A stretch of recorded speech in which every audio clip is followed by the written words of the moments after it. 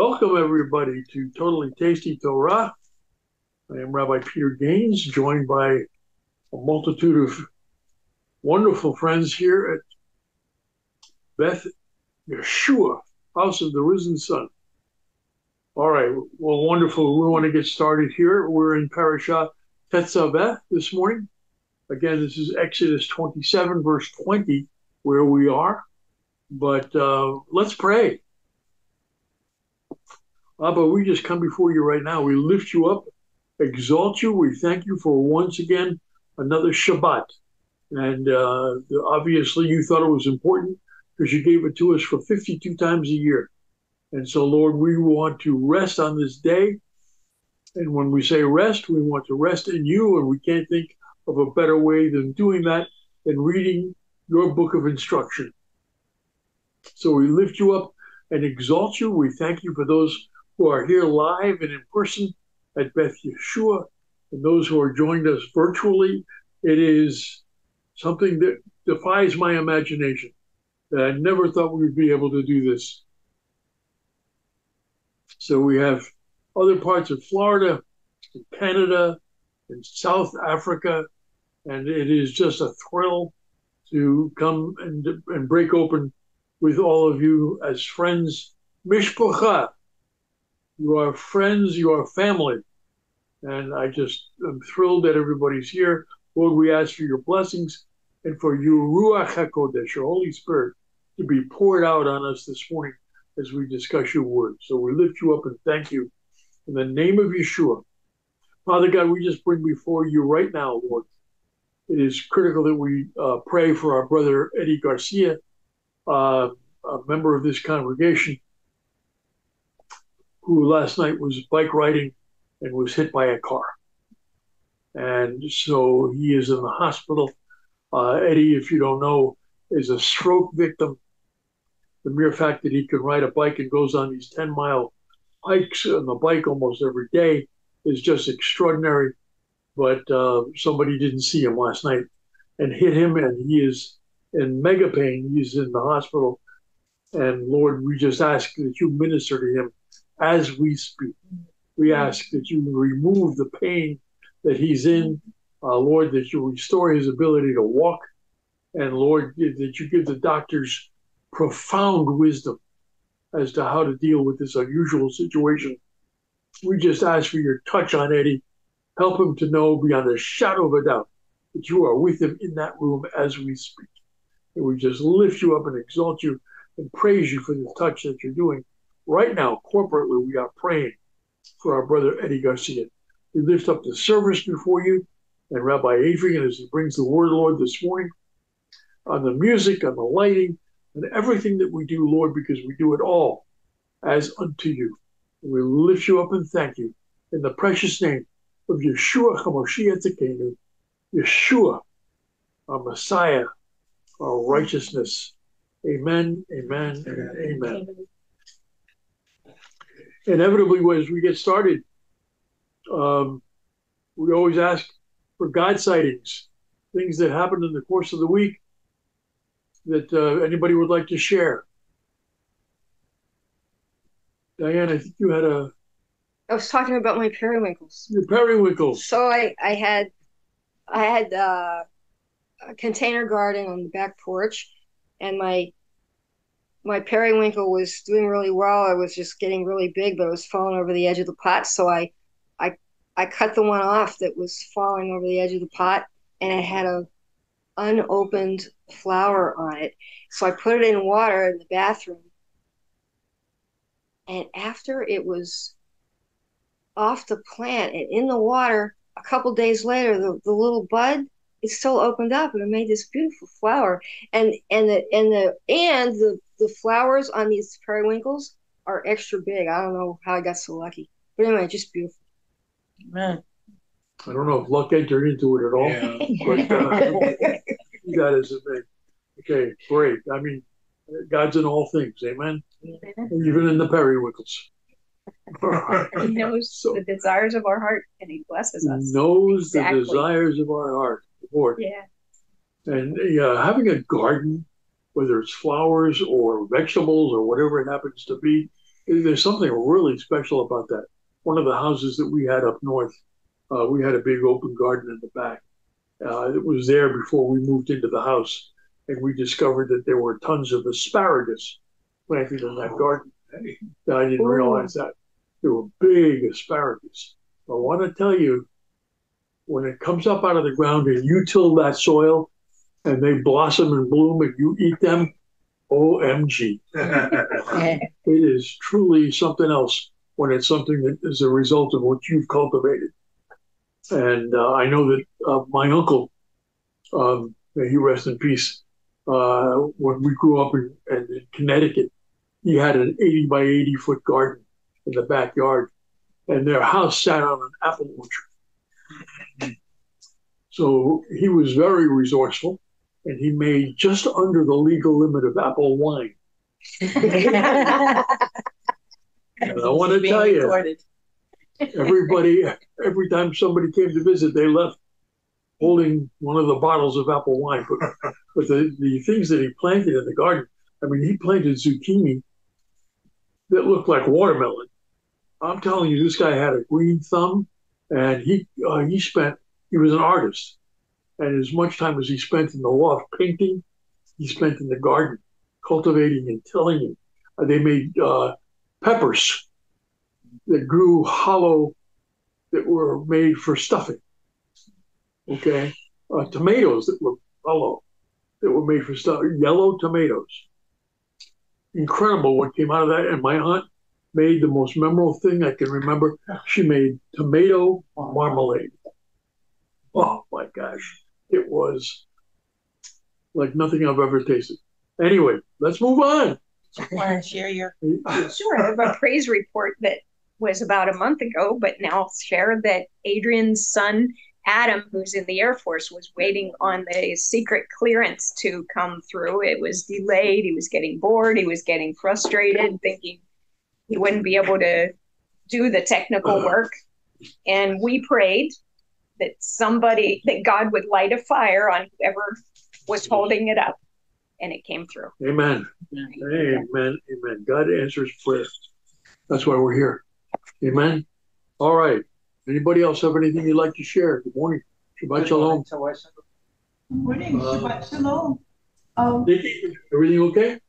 Yes, sir. Um, I had applied for a job and I got a, a, a response, as you know, a lot of companies do. We regret to inform you, da da da da. A week or so later, um, I got another email. They said, Oh, you're just what we're looking for. Arranged an, interview, an interview, so I'm hired. And it's the job that I wanted, $2 more an hour that I was making. I've been out of work for three months. And I'm just, praise God, I'm able to work as a 73 year old registered nurse full time. And um, I just wanted to say hi and thank God. Praise the Lord. Thank you. And Shabbat Shalom to everyone. Very happy for you. Praise God. That's great, Nikki. Thank you for that. Thank All you. Right. Let's answer prayer. I would think that in your profession, you would be in great demand. Indeed.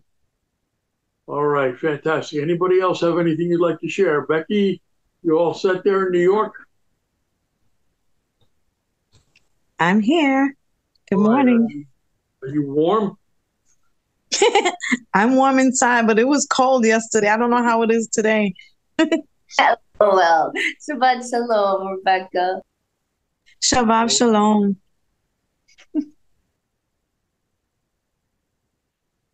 Shabbat. Shalom. Who says, Praise the Lord. Amen. All right, Lufuno. Nice to have you with us again. Good morning. Okay, let's get started. Again, Exodus 27, verse 20. It is called Tetzaveh. Tetzaveh. And who's the first person that can translate that for me? Oh, um, you shall command. You shall command. Okay. Not a suggestion, it's a command. Okay. You shall command and uh, it is very specific. Um, and Sandra on her iPad was kind enough to uh, bring us. Maybe you could bring that back up again. Um, bring share a very nice, colorful picture of what's going to be talked about today. Maybe we could pass that around. Actually, I'm going to show it on the screen here for a minute. Okay. Uh, among other things, I didn't want to hesitate. Oops, lost it there. There it is. Do you guys see that? Yes, is it clear? Is it Yes, we can Yes. see it. Yes. And the Like that. ephod, the breastplate, the sash. Okay, all of those things we're going to be talking Yes, about today. the detail of the tunic and Everything. Okay, very elaborate. Okay, the turban, and there's a uh, a, a, a plate on the turban. Okay, that says "Holy." Amen. Oh, look at that.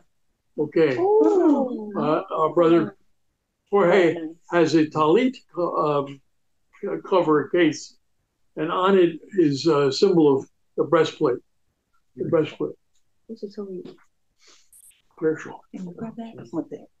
Can you grab it so you can show that? Yeah.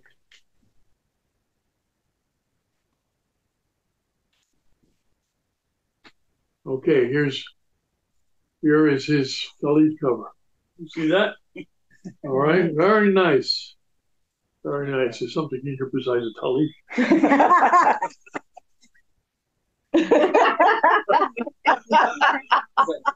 Contraband. All right. Let's get busy with the word. Take We 'em only out. have so much time. You can dress him up, but you can't take him out. I was. Oh, there you go. Also, you are to command Bnei Israel. They are to bring to you pure olive oil beaten for the light to cause the lamp to burn continually. What lamp are we talking about? What? menorah. The menorah. Okay. But what do we have here that is supposed to that's supposed to burn continually and over every in every synagogue we have Um, I, d- I forget the Hebrew name, but it's the Mhm. eternal light. the eternal light, which is called Ner Tamid. Ner Tamid. Okay, Is that the the light that burns over the ark. Yep. Wow. Okay. And I kind of remember being bar mitzvah standing on the stage with the rabbi, and the eternal light was right there over the middle, which is where typically it is in a synagogue. Okay, it burns all the time. And that's why we have Hanukkah, because the light was extinguished when the temple was destroyed. And they went out, they tried to find oil so they could rekindle the light. Need the Maccabees. And um, and they thought they had enough to burn for oil for a day, but it didn't burn for a day. It burned for eight eight days. What, what is the name of that again? Eternal. There and ER. Second word Tamid. T A M I D. Thank you. Ner Tamid, eternal light. Can I stick a phrase report? Yes, absolutely. So, um, last uh, Sunday, we uh, went to, uh, unfortunately, a memorial for our neighbor that had passed. They had it in the temple nearby us, and um, and so there were a lot of people. Showed up, seventy people. And it was a beautiful memorial. Anyway, afterwards they had they had a lunch luncheon. So we're all sitting around this big room, all these big tables, and the woman that was sitting at our table was one that stood up and spoke at, during the memorial. So I, I started talking to her, and somehow or other it came up that we're from I'm from Jersey. Where? I said, Linden. She goes, Oh.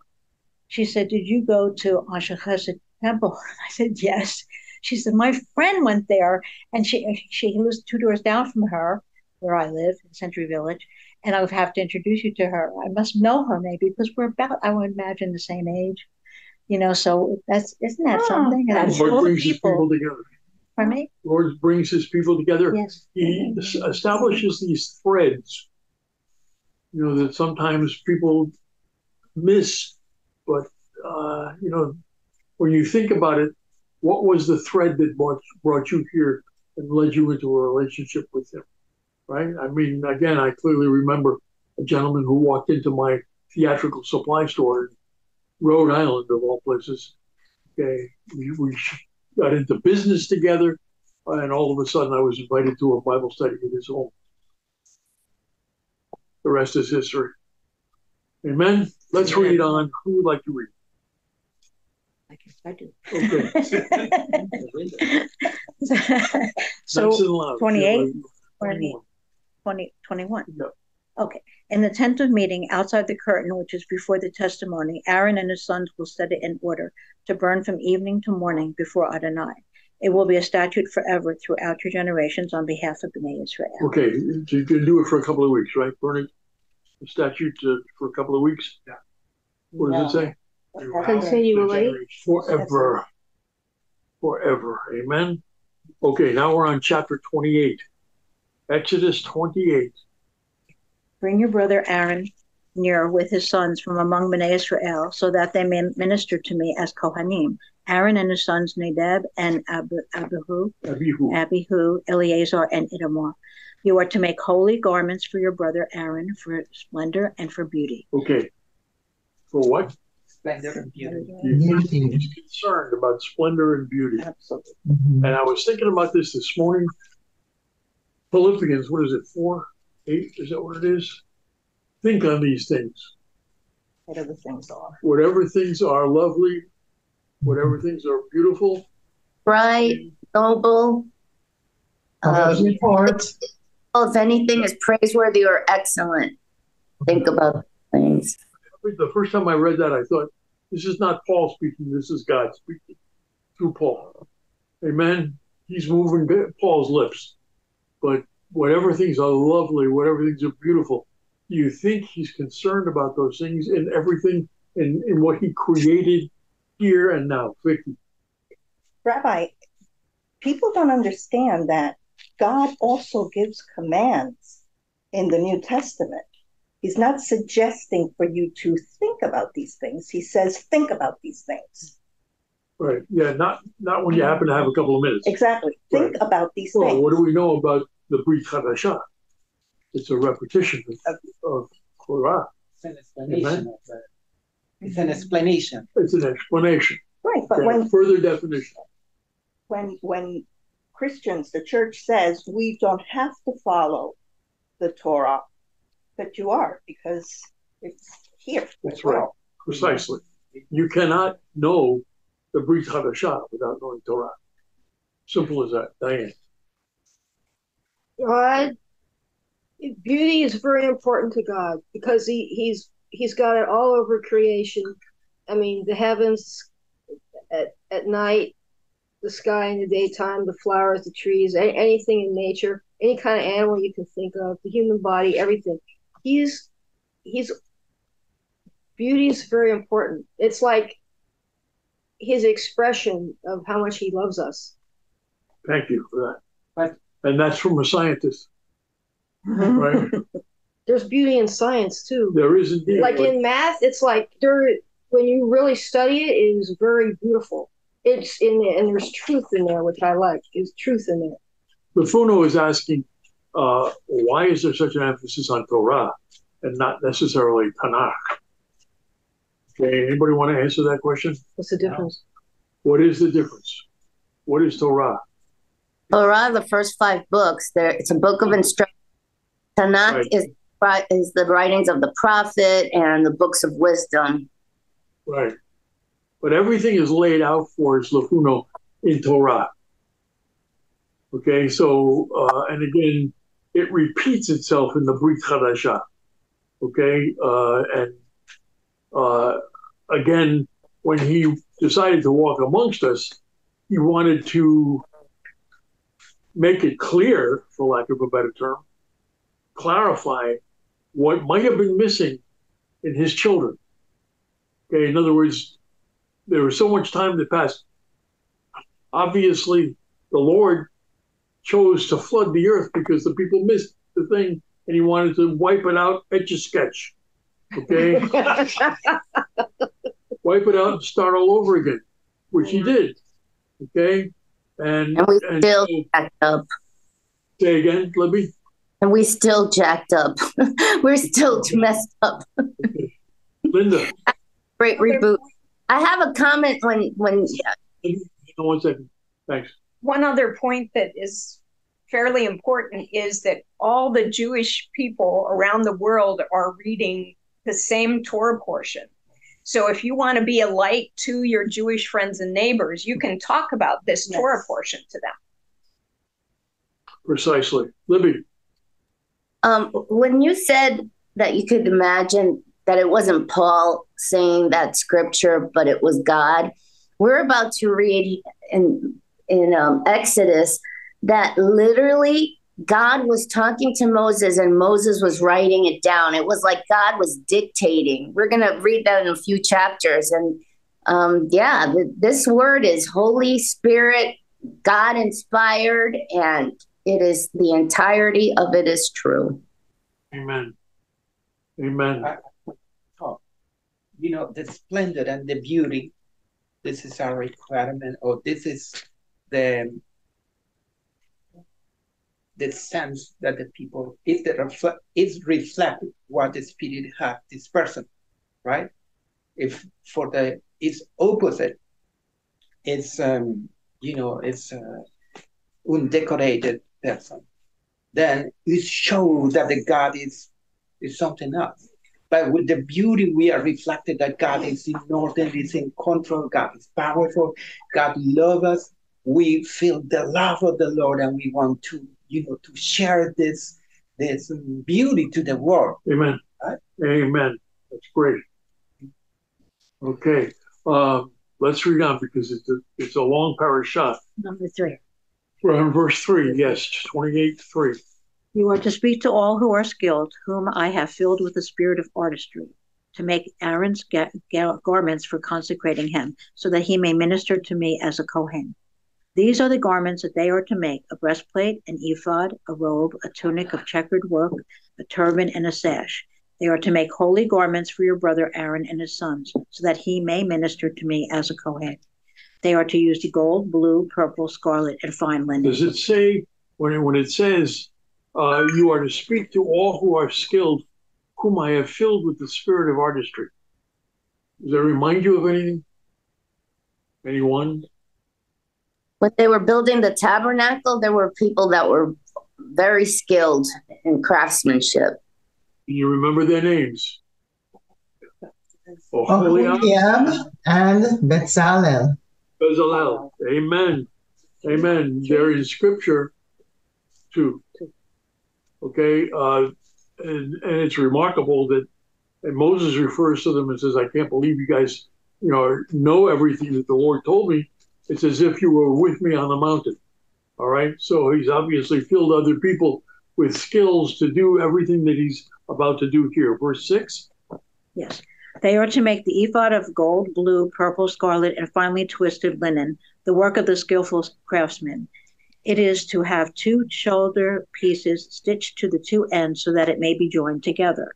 The skillfully woven band which is upon it, with which it is to be bound, is to be made like the design and from the same piece of gold, blue, purple, scarlet, and finely twisted linen.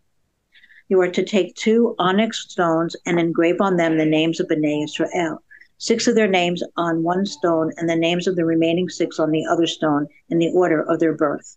With the work of a gem gutter, cutter, engraving a seal, etch the two stones in the order of the names of Bnei Israel. Okay, anybody know the name of a person who does stone engraving like that. Not a name of a person, but the name of the profession. Mason. No. Um, Mason. No. My grand my grandparents used to uh, do stone cutting and make jewelry, but I can't remember the name of it. But remember, lapidary. Yes. Ah. Yes. Yeah, file that one away. Yeah. there's, a whole, there's a whole journal. Uh, lapidus. It's on the past. Thank you, Steve. They even have their own journal called Lapidary Journal. I remember Lapidary that. Journal. Yeah. I can't help but think, you know, whenever you read Talmud, they suggest, and again, it's that's the oral law, not the written law, not God's law. But they suggest that back then, because they didn't have the laser tools that we now have to do that, that it was a worm hmm. that the Lord used to engrave the stones. Okay. I'm cautious about that. Oh yeah, yeah, yeah. I'm not saying that. That's, I'm not saying that's a fact. He's saying it's interesting that that's what the Talmud suggests. That's again the word of the rabbis, not the word of God. Okay. Following after um, 11. Uh, the, nice and loud. Sure. Yes. Make them enclosed in settings of gold. 12. Fasten the two stones upon the shoulder pieces of the ephod to be memorial stones for Bnei Israel. So Aaron is to bear their names before Adonai on his two shoulders as a reminder. Fashion filigree settings of gold along with two chains of pure gold of braided work, and you will attach the chains to the filigree settings. Make a breastplate of judgment, the work of a skillful craftsman. You are to make it like the design of the ephod of gold, blue, purple, scarlet, and finely twisted linen. It is to be square and doubled over, a span in length and a span in width. Set within it for four rows of jewels, a row of ruby, topaz, and emerald for the first row, a turquoise, a sapphire, and a diamond for the second row, a jasper, jasper, and a- agate, agate, agate, and an amethyst for the third, and a beryl, an onyx, and a jasper for the fourth row. They are to be enclosed in gold filigree settings. The stones are to be engraved in the order of the names of Bnei Israel, 12 according to their names, like the etchings of a signet, and it signet wasn't very seal. long before I realized that I had a problem. Oh, she got, they've got you on this thing. My marriage needed saving. Oh. I saved it, How And could you be in two places at the same I just, I was trying to think of that myself.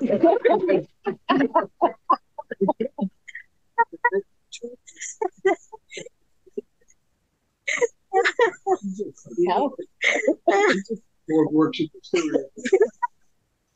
Yeah, but- Um, I'm going to start at 21 again. uh, Sir, Don, Verse 14, uh, change the, the meaning of the word filigree. what is filigree? Um, Kind of like woven gold. Yes, it's very, it's ornate. It's ornate gold. It's actually got little cutouts. So it So looks it looks like strings. Yes, work of fine, work of fine wire formed into delicate tracery, typically gold or silver. Del- the example says like delicate silver. Thank you, Google. Thank you, Google. Good hand, you something. Okay. All right. So, and again, when we talked before, I wanted to back up just for a second. When it talks about the two stones, the work of a gem cutter engraving sealed two stones with the names of the children of Israel, what are we talking about? Those two stones? Oh, What that's it a- on the front? Yeah. What are they called? Ephod? The Urim and the Thummim. Thank you. Yeah. Thank you, Evangeline. The Urim, Urim and the and the Thummim, uh, they are used to for the purposes of uh, either confirming or refuting something that's brought before them as a high priest. Okay, um, Urim is guilty, Thummim is innocent. Okay. So it's sort of like cat, not like gam, not like gambling, but You're thinking of like dice. yeah, but but it's I mean it's not gambling because they it's God ordained or whatever the It is God is. ordained, but they were used when it, when it was somebody was suspicious of guilt about something. Oh. Okay. All right, let's move on. Okay, like to start at 21 again. 21 again? Yes, the stones to be engraved in the order of the names of Bnei Israel, 12 according to their names, like the etchings of a signet seal, one corresponding to each name of the 12 tribes. Also, you are to make upon the breastplate braided chains of wreathed work from pure gold. Forge on the breastplate two rings of gold and fasten the two rings on the two ends of the breastplate. Then attach the two wreathed chains of gold on the two rings at the ends of the breastplate. The other two ends of the chains you are to place on the two settings and put them on the shoulder pieces of the ephod in front. So you are to make two rings of gold and put them on the two ends of the breastplate on the edge of it that is toward the inner side of the ephod. Also make two gold rings and place them on the shoulder pieces of the ephod underneath, in the front, close to where it is joined, above the artful, artfully woven band of the ephod. Then they will bind the breastplate by its rings to the to the rings of the ephod with a blue thread, so that it may be on the skillfully woven band of the ephod, and so that the breastplate will not come loose from it. Okay, could, Sandra, could you maybe pass that picture around again? uh, so that people can have a picture in, in mind as to what that looks like. Just pass it around so that people can take a look. Okay, go on. Aren't you talking about blue this Sheila. way? Okay. 29. Aaron will bear the names of Bnei Israel on the breastplate of judgment on his heart whenever he enters the holy place as a continual memorial before Adonai. Also, put the Urim and the Thummim within the breastplate of judgment, so they will be on the Aaron's heart when he goes in before Adonai. Aaron will bear the judgment of Bnei Israel on his heart before Adonai continually. You are to make the robe of the ephod entirely of blue. Okay, and just as a point there, if you're looking at the picture, the ephod is the garment that is underneath. Okay, it goes over shoulders in blue depicted there. Okay, that in other words, underneath the the breastplate. Okay, See how much it weighs? that whole thing? Uh, It looks like but it I, it does say that it was that it was square, that it was one cubit by one cubit. Okay, remember this is a cubit. Right. Okay, can you imagine that square? Okay, so that I don't think that's accurate. It's smaller there than depicted. That's what I was thinking when we were reading all this. Yeah. That is some heavy burden Yeah. to carry. So I was saying, I wonder how much it weighed. Yeah.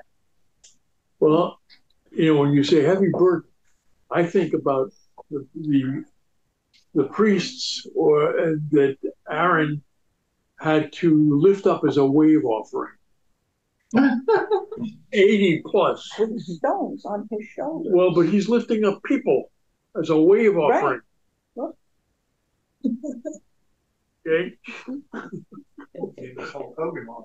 What? Doing Hulk Hogan. Okay. Four men up there. Go on. Okay. They were probably stronger. Say again. They were probably stronger back then than we are now. Oh, Yeah. Okay. Let's read on. Was it? 32. You have a question, John? Well, he, Lord better watch over his word to renew his strength as in the days of his youth. Amen. All right. Where are we? 32. 32. Yes. It is to have a hole for the head in the center and a binding of woven work around the hole as a collar so that it may not be torn. On the hem of it, you are to make pomegranates of blue, purple, and scarlet all around the hem, with golden bells between them, one golden bell and a pomegranate, then another golden bell and a pomegranate, on the hem of the robe all around. It must be worn by Aaron whenever he ministers. The sound will be heard when he goes into the holy place before Adonai and when he comes out, so that he does not die. Okay. In in a sentence or less, who would like to tell us why a pomegranate? That's what I was gonna ask. Isn't- That's what I was gonna ask. Why? The number of seeds in the pomegranate Yes. is the same as the number of the uh, or ordinances or laws. 613. 613 seeds. The next time you go to the market, buy a pomegranate, count the seeds. I've been saying that for years. I still haven't done it. But God, But God. but God. Okay, where are we? Okay, 36. 36. Also, you are to make a plate of pure gold and engrave on it, like the engravings of a seal, holy to Adonai. All right, there's a seal that goes on the turban. Okay, holy to Adonai. Okay, praise God indeed. Go on. 37. Attach it with a violet cord onto the turban on the front of the turban. So it will rest on Aaron's forehead, so that Aaron will bear away the iniquity committed regarding the holy things, which Bnei Israel set apart as all their holy gifts. It is to be always to be on his forehead, so that they may have favor before Adonai. you are to weave the tunic in, in checkered work of fine linen. Make a turban of fine linen and make a sash, the work of a colored weaver. For Aaron's sons, you are to make tunics, sashes, and headwear for them, for splendor and for beauty. For what? For splendor and for For what? beauty. Did we not read that before? Yeah. Okay. You, you know, God's into redundancy. Because we need it. Because we need It's a it. redundancy. It's like a, it's like it's like he's a born engineer. Like that's what engineers do. Everything you have redundancy. in case something goes bad. This is like we don't hear it the first time. Maybe you'll get it the second time, or the third, or the fourth. Or the hundredth. Okay. Yeah, but there's certain things that we don't get. Right. All right. No matter how many times. Well, what does he do and what do we do every year so that we get it and so that we can pass it along to our children? The holidays. The holiday Moedim, right? The feasts specifically. Okay. Why is this night different from all other nights? Passover okay, that is from generation to generation, okay, specifically for repeating so that the, the generations to follow will know the wonder of Hashem. What's Hashem you mentioned, go ahead. Um, I watched the second half of the Ten Commandments last night, and the little boy asked that question Why are we doing this?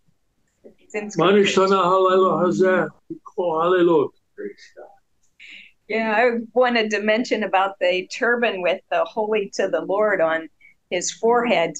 It's like his thoughts have to be holy to the Lord, as you mentioned, Philippians. Uh-huh. Our thoughts need to be holy to the Lord.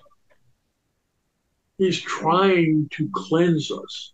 He's trying in this boot camp in 40 years to make us holy as he is holy. Praise God. Okay. The same the same idea that the cherubim were at the entrance of the paradise. The two cherubims are in, in the Ark of the Covenant. So when the priests enter, it's the same thing. If he is not holy, he dies. Well, that's why he's got bells on at the bottom of his garment. Yes.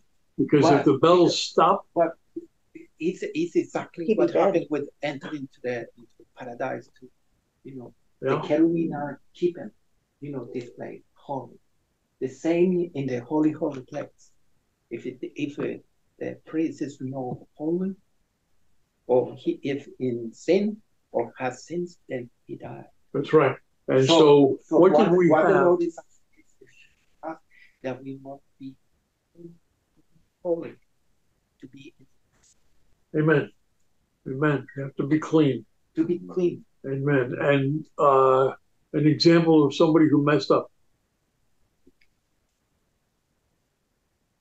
Moses. Nadab, this one. And Abihu, the, the sons of Aaron, who did what?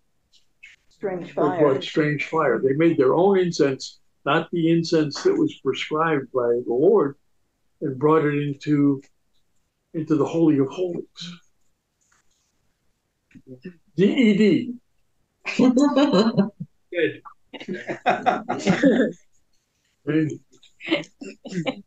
Oh, yeah. to quote Rabbi David. Okay.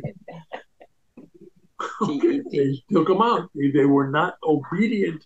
And if there's any place you're going to be obedient, it's in the Holy of Holies. Not only did they bring strange fire, they were also inebriated. No, no. Let's go on. Verse 41. 41. Put them on Aaron, your brother, and on his sons with him, and anoint them, consecrate them, and sanctify them, so that they may minister to me as Kohanim. You are to make linen undergarments for them to cover the skin of their nakedness from the hips to the thighs. They are to be worn by Aaron and his sons when they go into the tent of meeting or when they approach the altar to minister in the holy place, so that they do not become subject to guilt and die. It is to be a statute forever to him and to his offspring after him. Okay. All right. So again, uh, do you think he's missing anything? Does he miss any detail? No. No? He lays it down quite flat. Yeah. What evidence do we have of the fact that he's a God of details? The ark. Okay. I felt like he was very detailed when I saw it. Everything was specific. Oh yeah, that's right. You saw it. Yeah, so Yeah. that was like amazing to see that inside and out. I was just blown away by the, just standing in front of that thing. You should take a field trip. That picture uh, that you have on your, you come online with the ark behind you. Oh my gosh, that is amazing. What else? Give some other evidence that he's a God of detail. Just repeat. The Mishkan. You. What's that? Every cell in You- your body. he's saying each of us. hair on every hair on your head, every cell in your body, every piece of DNA or however you want to describe it. Okay, you are fearfully and wonderfully That's- made. that's- That was, that was Dr. Kennedy's mantra. That was his And- mantra. And the, the detail in that, that one sermon of, oh, I think it was the eye, just the eye alone. Just what goes on in the eye. Ugh. Remember how we talked about uh, we talked about circumcision and when that takes place? When does it take place? On the eighth day. Because Blood. The, the blood. there's one day in your life the blood coagulates like that.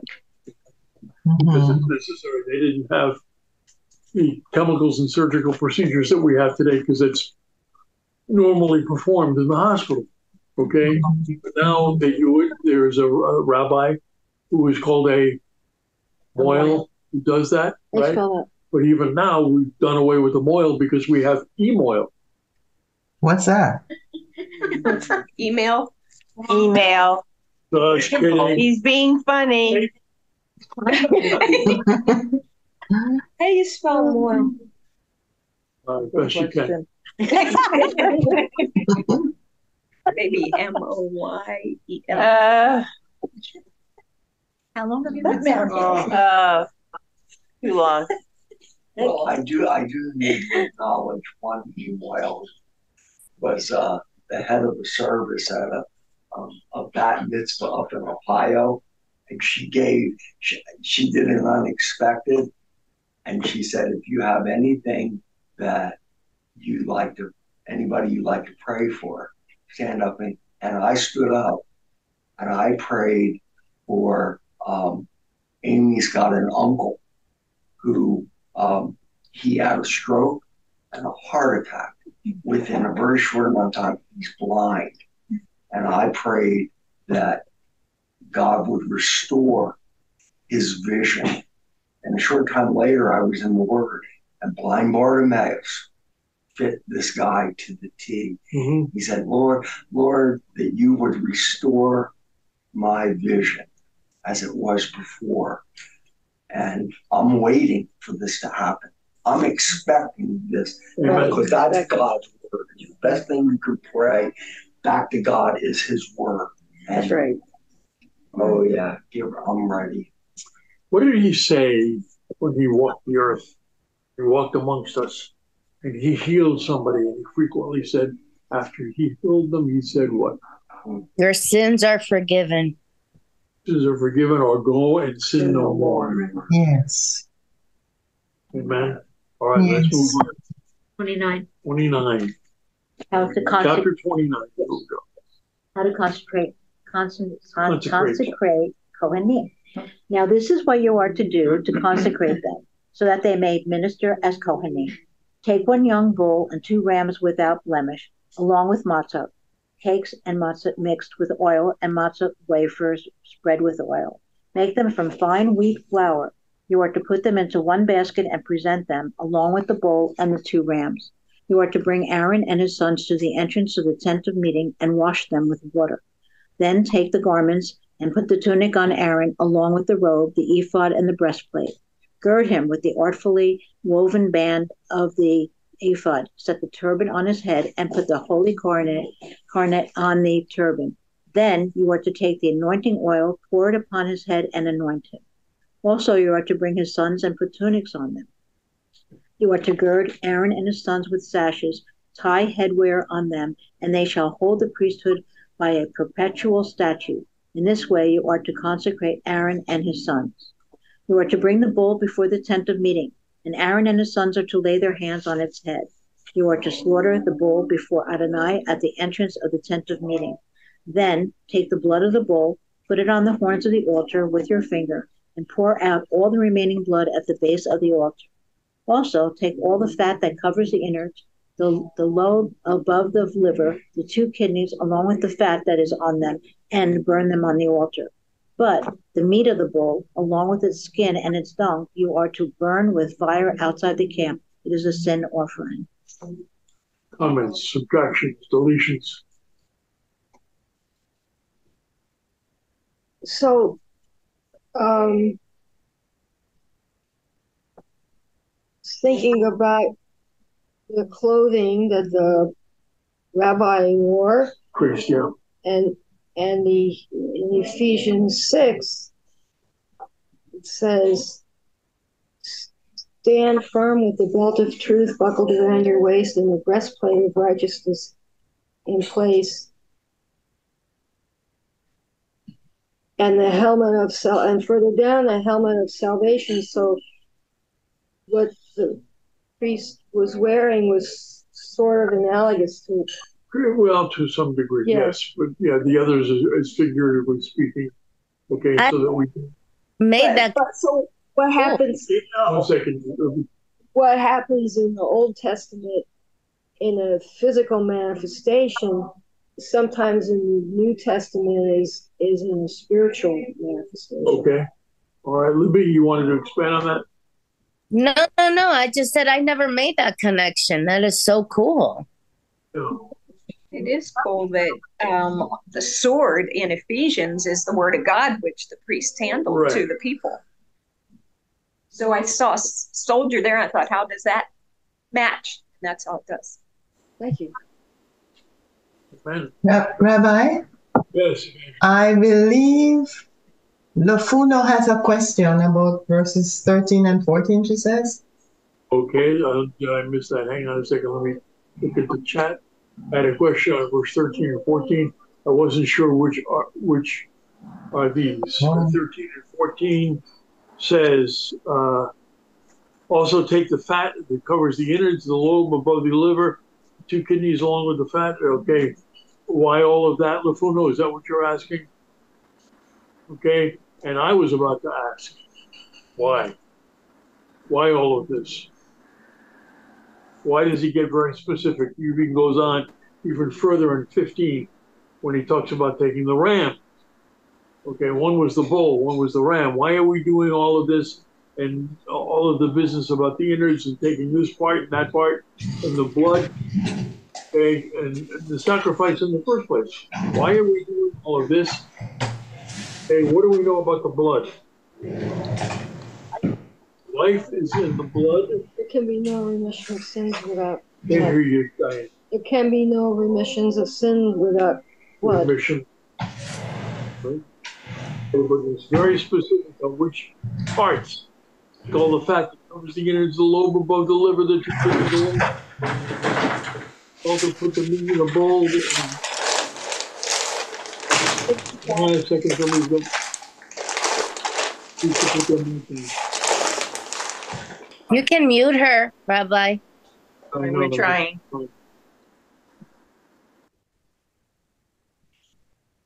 Hang on a second. Okay, you were saying. God is very big into separating the holy from the common.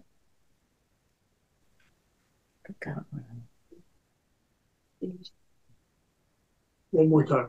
Sorry. God is very into separating the holy from the common, Okay. and the common is always thrown away. Okay, well, he's very specific about, yeah, I'm looking at um, the kidneys and the liver, which are purifying organs. Now, I'm also thinking about this is a sin offering, and it was a replacement for them being killed. So, um, the first sacrifice that's in the temple are those two organs that somehow I'm not sure how it connects. right. And then the rest, that since it's a sin offering, gets burned outside the camp. What happens to somebody who uh, has leprosy? So, all right, Outside the everything gets outside the camp. So, what is he trying to do? What is what? I mean, Separate. What? Separate the unclean from the clean. And that's critical when these people are outside. I mean, if you go camping, okay, there needs to be a separation of the clean and the unclean. Okay, you got two million people camping out in the middle of the wilderness. I mean, there needs to be organization here. Yeah. Okay, so I- I'm trying to bring it down to practical terms. Um, again, laying the hands on the on the head of the animal. What do we call that? Consecration.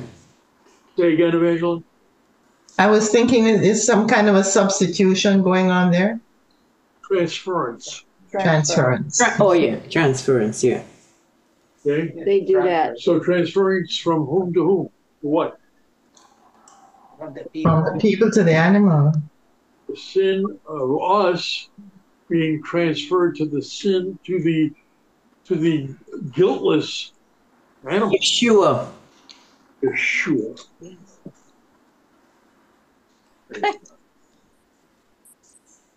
Okay. Fifteen. I, take I, one away. I have a question on my hand. Um, so after the temple was destroyed in 70 AD, that's when the Jews did away with the sacrificial system because they didn't have a temple to sacrifice, and that's where the rabbinical came from. That's what I learned recently. Um, but the Word of God says that you need atonement. Yeah. They didn't see that atonement in Yeshua, the the Orthodox. They didn't see it, but I, I, I don't understand how they could do away with it. Besides it being highly inconvenient in modern day to be, you know, sacrificing all these lambs. But I don't know. Any comment on that? I think they, they had to do away with it because they no longer had a temple to do the sacrifices. Right. But but there are still Orthodox Jews who still do that. But, Right, practice animal sacrifice. But it, the, the book of Hebrews say that he offered one time and forever, Yeah, and he entered into the holy, holy place. Correct. Once and forever. Uh, and it's reference to, to the Mashiach. You- you know, right. But they're asking and mentioning, you know, the people who don't necessarily, who don't know Yeshua, and don't understand his. But, but, but- sorry, but they don't know Yeshua because they don't refuse. to- That's correct. To be the, the, the Right. But what we're saying is that there are still those who will do that, and uh, once they rebuild the temple, which is imminent, okay, they're going to do it all over again. Do you know if they do that outside of Israel, if they're sacrificing animals? I don't know specifically. Because that would be against scripture as well. because They were only allowed to do it at Well, the one thing, one thing that we do know is that when they start to do that again, what's next? Yeshua's return. Yeshua is coming soon. Who knows?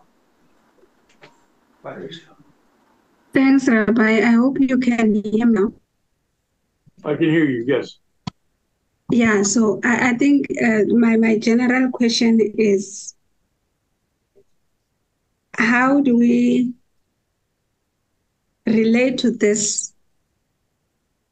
Me, as i I'm coming from a different background, which is uh, Christianity, how do we relate to to, to this sacrificial system? I, I don't have anything against it, but there hasn't really been anybody who explained to us how should this be done.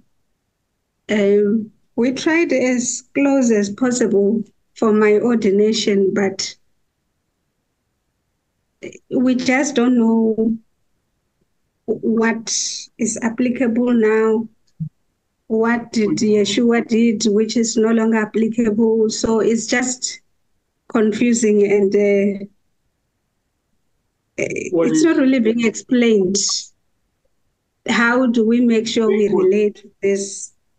Right. I think what you're getting at is the fact that that when Yeshua put on flesh and dwelt among us, that he wanted to make it clear that he is the ultimate sacrifice, and that all of this sacrificial system was no longer necessary at mm-hmm. all. Okay, because he took upon him instead of there being transference from man to animal, the innocent animal, that he took upon himself sin past, present, and future for all humanity. Can you imagine what he carried to the cross? Mm, I, I do. Okay, so I, I think within the same breath, on the Haftarah, it was Ezekiel 43. Ezekiel 43, So- okay? Would that be referring to the third temple? The one that is to come, or is it referring to something that has happened? Okay, I, I have to, read exactly what that says. Um, you have that open? Ezekiel 43? Yeah, it's a it's a whole lot. I was just asking because it's part of the Haftarah, so I thought From what is to come, yes. Okay, but I think it's a I have it opened. The uh, alone, um, uh, uh, 10 to 27. the world to come. Okay, not necessarily uh, that uh, the Messiah. Okay, I think it's talking about the world to come post Messiah. Okay, Diane. Sort of like when you're trying to teach somebody almost anything. So you're trying to teach somebody how to use a how to use a, a skill saw and cut wood. To to just explain it to them with words, it's not going to work because they have nothing to relate to. You have to get the skill saw and you have to actually show them, and that's what he's doing in the Old Testament. He's he's using the uh, the, the, the, the blood sacrifice is representative of sin, and then the oblation of the incense covers the the uh, the odors of the of the blood sacrifice, and so he's he's making a his physical demonstration, and then skip over to the New Testament. Instead of the blood sacrifice of the animals, you have Jesus on the cross, and, it, and it's it's now everything is done spiritually and in your head versus physically but it's like a it's a progression of of teaching the human Excellent. race Excellent. And again, the whole 40 years in the desert was that demonstration. Okay, and the that whole sanctification process of pulling them out of Egypt, pulling Egypt out of them, and having them to understand the magnitude of who he was, what how he wanted them to behave, and what he was going to do for them in return. Go ahead. Okay. The Bible said when we read the sacrifice, the correct word is offering. It's offering. Offering. No sacrifice. Because we understand that sacrifice is kill an animal. And God is no happy with that. But he is delight in offering, in receive the offering. So Yeshua, Jesus, our Messiah, he offered him himself as a propitiation for our sin. It's for a sin, but also oh, there, are, there, is, there are five offerings, you know, for sin, for peace, for reconciliation, for um, so, so another uh, offering, right? So Yeshua offered is the offering, you know, for everything, but Amen. for the sin of the world. So in the future, in the Millennium Kingdom, in the Ezekiel uh, temple, we are going to continue the the offering, no sacrifice here. Right. The offering, but not for the sin, because the sin is already paid. But it's because Thanksgiving is because is because um, you know some other offerings, but no for the sin necessarily. Right. That's correct. Rabbi, my hand's been up for a while. Well, Olivia, I thought you already asked the question. Please forgive me. Go ahead. um, Lufuno, I, I, I echo what um, Diane and and um, Jorge, I mean Alex has has said. Um, in Revelation, it's written that Yeshua is the Lamb of God that was chosen from the foundation of the earth. And one thing I want to bring to light is you said, well, we how do we apply sacrifices now? In Romans 12, 1, it says, I beseech you, therefore, brethren, by the mercies of God, that ye present your bodies a living sacrifice, holy, acceptable unto God, which is your reasonable service. So the way we apply it is is submitting to this process of sanctification. And that's our, our modern day application. That's the sacrifice. The the the ultimate sacrifice was Yeshua, but there's there's parallels between just like Diane brought up, even there's these parallels between what God established with his people in the wilderness and what how we apply it today. Absolutely right.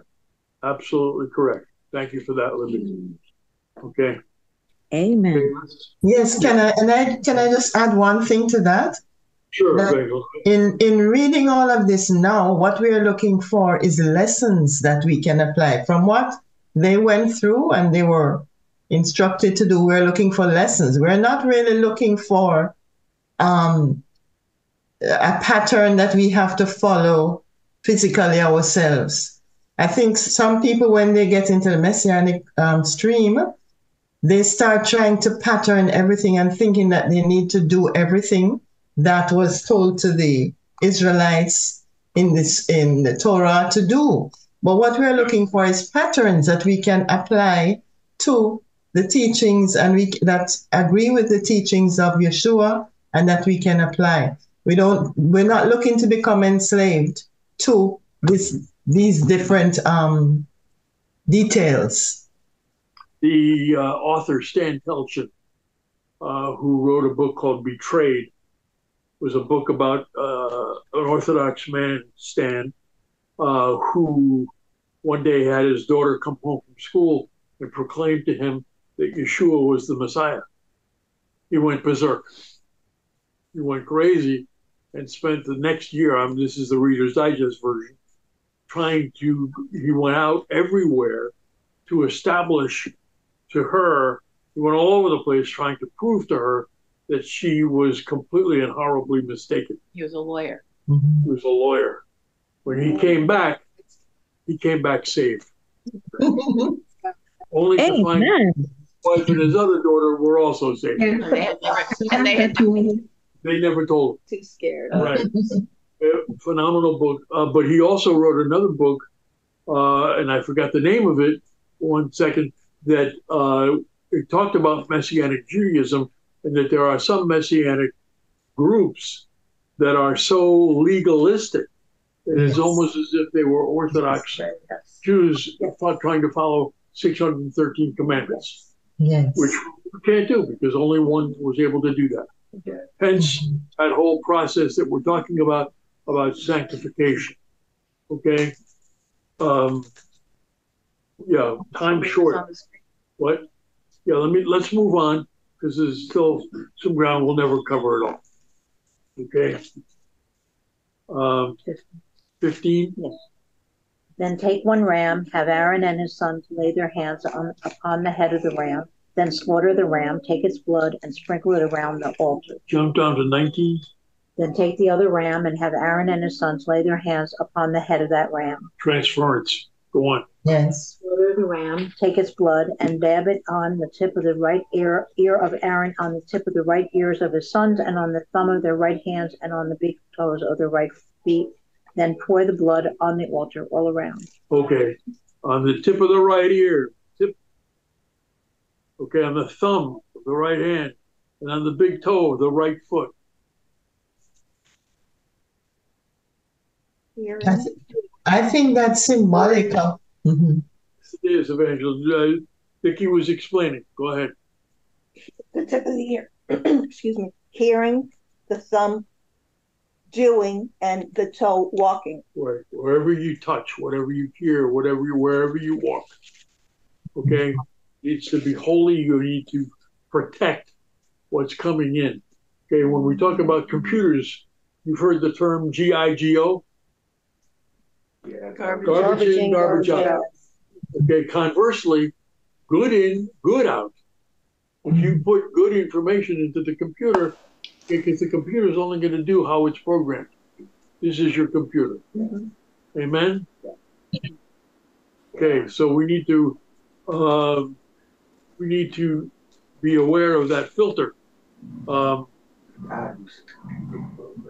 there you go. Consecrate, to make and to declare something sacred, set apart for the service of God. Let's jump over to 22. Moreover, take some of the fat from the ram, along with the fat, fat uh, tail, the fat that covers the innards, the covering over the liver, the two kidneys, and the fat that is on them, along with the right thigh, because it is a ram of consecration. Jump down to 27. Set apart the breast of the wave offering and the thigh of the contr- con- contribution, which is waved and offered up from the ram of ra- consecration, including what belongs to Aaron and his sons. The burnt offerings and offering the